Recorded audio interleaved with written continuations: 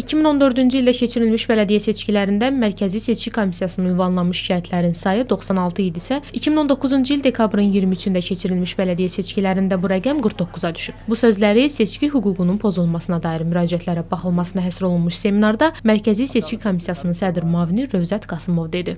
Və digər bir maraqlı statistika. Səsvermə gününədək Mərkəzi Seçki Komissiyasına 2014-cü ildə daxil olan şikayətlərin sayı 17 idi. Amma 2019-cu ildə bu say 0 idi. Səsvermə gününədək Mərkəzi Seçki Komissiyasına heç bir şikayət daxil olmamışdı.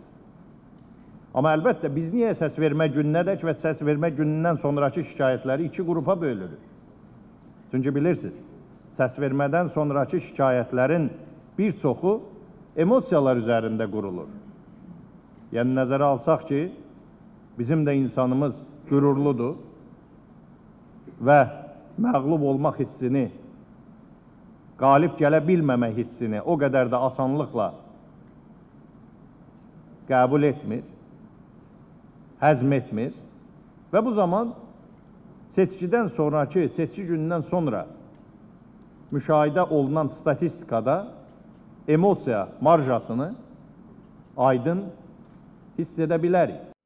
Rövzət Qasımov həm də qeyd etdi ki, 2014-cü ildəki bələdiyyə seçkilərində seçki günündən sonra 79, 2019-cu ildəki bələdiyyə seçkilərində isə Mərkəzi Seçki Komissiyasına 49 müraciət daxil olub.